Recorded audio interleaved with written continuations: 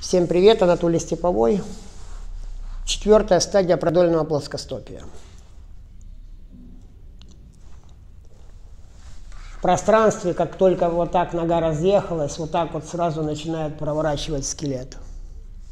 Перекосы, опора на пальцах, фасциты, пяточная шпора – варианты травм вот здесь, э, где малая берцовая перелом колена, то же самое, таз, то есть уже, уже как бы в зоне риска. Значит, э, обязательно надо изменить это положение, потому что одна нога выше чуть-чуть, тоже плоскостопая, но все-таки видно, что это правая лежит полностью, а левая чуть-чуть выше, на 0,3-0,5. Из-за этого перекос, потому что высоты разные. Теперь, значит, что у левой? У левой завален полностью внутрь голеностоп, поэтому и говорю, что может малоберцовое очень сильно травмоопасное положение. Теперь, значит, вот эти все воспаления, здесь же вот, смотрите, здесь же надо понимать, что нога, когда начала разъезжаться сюда, то здесь в пятке, вот видите, как сколько костей там. И вы представьте себе, что эти кости начали менять свое положение. То есть все воспаления сразу, вот эти кости поехали сюда, здесь натянуло, здесь зажало. Пяточная кость поехала назад, здесь натянула, здесь зажала, понимаете? И все, здесь покрутила, покрутила наверх. То есть вот четвертая стадия. Э, вам кажется, что дальше ничего нету? Нет, нет, нет, ребята. Есть, есть конечно. А дальше начинаются колени, таз, потому что ноги лежат, лежат неравномерно, получается. И теперь получается человек выше, ниже, и его теперь начинает скручивать. Вот именно вот таким образом. И теперь добавляются новые болезни. Причем эти болезни человек уже не связывает с ногами. Вот в чем проблема. Он начинает лечить спину, пойду к врачу, все болезни от спины. Понимаете, вот здесь нюанс. То есть он уже не думает, что спина болит из-за ног. Потому что ноги уже на этом этапе меньше болят, а спина больше. Потому что ноги сейчас уже деформировались, они болели раньше. Теперь начала болеть спина, ноги уже деформированы, ну где-то тянут, но уже не болят. Но уже болит таз и все выше. То есть вы уже концентрируетесь туда. Ребра зажали почку, допустим, почка начала болеть, печень начала болеть, опять же ребра легли, кого куда повернуло. И вы уже лечите печень, почки, а на самом деле ребра давят, потому что начало меняться положение в пространстве человека. Значит, что здесь надо сделать? Первые стельки, хорошие стельки, именно хорошие, которые подымут четвертую стадию. Ребята, я давно работаю, я пробовал четвертую поднимать разными приспособлениями, понимаете? Разных производителей стельки, в том числе и коррегировать, ну, которые можно коррегировать. Очень тяжело такие ноги поднимать. То есть надо, чтобы стелька выдержала нагрузку и переломила ситуацию в свою сторону. То бишь, чтобы не нога стельку расплющила, а стелька подняла ногу и нога стала пружинить на стельке, не, не раздавливая ее. Вот, потому без стелек не обойтись. Но и стелек мало, понимаете? Вот вы дадите стельку сюда, она же вот такой за день не станет. Да, она станет вот примерно такой, но все равно пальцы эти будут так, пятка будет все равно не до конца ложиться. То есть сама нога уже назад не хочет. И здесь вот мы предлагаем следующее действие. То есть вот будут стельки лежать, они будут внутри обуви формировать определенную платформу, которая будет точно копировать свод, потому что мы вам дали размер обуви. И там внутри еще синие супинаторы, они меняют точку опоры под плюсневыми в нужных местах, создавая разные углы. Теперь, а так как эти пальцы туда не хотят идти, то надо будет снаружи регулируемо дать давление. То есть это нужна шнурованная обувь, чтобы не просто по всей длине дать давление, а дать давление в нужных местах – причем давление надо так дать, чтобы потом было легко его снять, потому что вот это движение, чтобы ногу собрать, занимает 3 месяца, где вы постоянно обувью обжимаете ногу вокруг стельки. И со временем вот такая нога на стельке становится вот такой. То есть вот такая становится вот такой, понимаете? Это все в среднем, вот даже если сложности, там артрозы разные, вот уже степени там травмы, остеофиты, ну это немножко удлиняет работу. Значит, если человек будет заниматься постоянно непрерывно своим здоровьем, своими ногами, целенаправленно, последовательно, зная, что он делает, то в среднем до полугода работы и полностью другая геометрия. Легких ножек ходить с удовольствием. А сейчас человеку что нужно делать? А сейчас человеку прислать нам адрес, чтобы мы выслали ему стельки.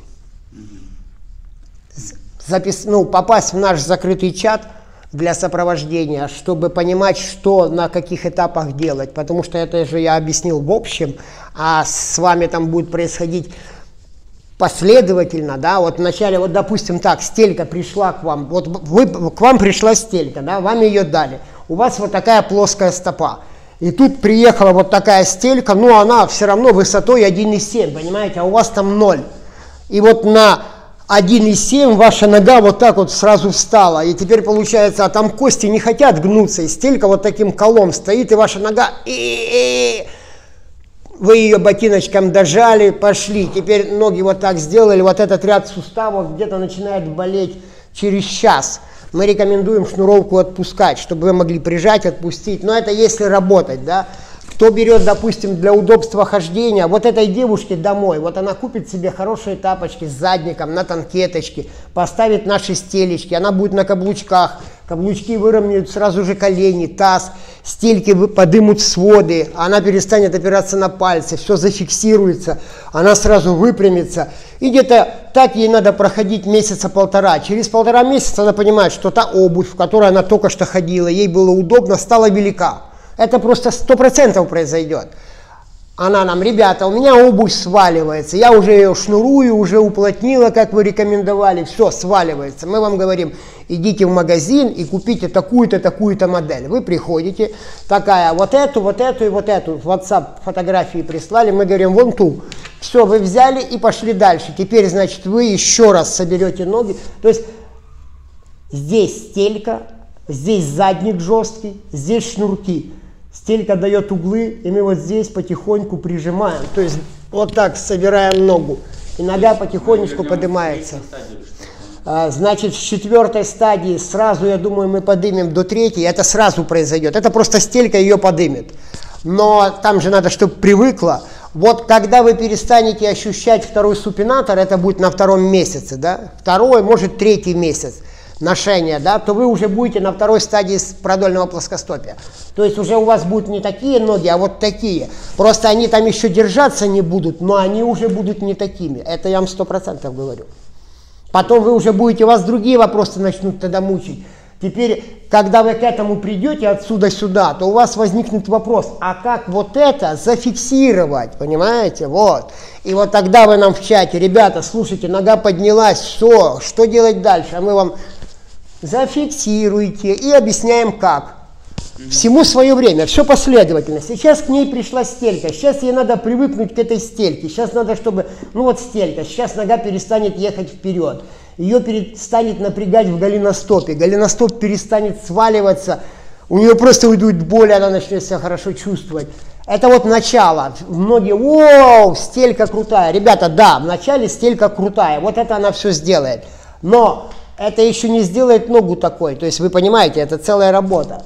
Теперь стелька, когда свою работу выполнила, вот подняла вам ногу, все, вы уже на пяточке стоите, на пальцы не опираетесь, нога вот так не разъезжается, и вы говорите, что делать дальше, а мы вам говорим, вот здесь нужна опора, вот здесь, вот здесь, и вообще обувь должна быть такая, такая, ну для дома такая, для улицы такая, на работу такая. Вы делаете это, еще через два месяца ваша нога еще раз меняется, и вот там встает вопрос, а что делать дальше? Дальше, понимаете, дальше вы уже на этот момент решите массу своих вопросов. А, значит, вы уйдете полностью от четвертой стадии продольного плоскостопия, где-то стабильно вторую. Вы уберете к тому моменту по рекомендациям завал голеностопа, ротацию. Нет, не бывает. Все, кто работают, бывает, что бывает, что дошли до определенного ну, момента, да, фу, им стало удобно, легко, а там остались мелочи. Ну, их тоже можно сделать. Вот они дальше не хотят делать. Вот, вот допустим, вот пальцы, да, с пальцами очень сложно работать.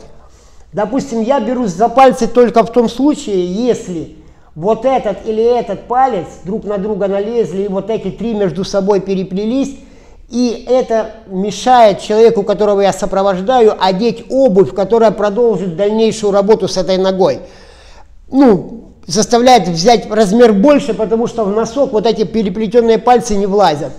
а надо взять меньше, чтобы работать дальше с ногой. И вот тогда я работаю с пальцами. Да, мы там у нас есть наработочки, вот это же два пальца, а это как один, вот эти суставы. Как поставить вот эти, если здесь все вот это живое, то есть здесь бывает разрыв суставной сумки, но их сразу видно, если рваные. А так, если этот палец живой, его можно будет вытащить, поставить на место, зафиксировать и приучить быть ровно, как должно быть. И он со... привыкнет. Да, да, сейчас, если она там ей нужно, это все, она будет собой заниматься, она ребятам, менеджерам пишет, что вот мой адрес такой-то, пришлите мне стельки, так, там-то, там-то.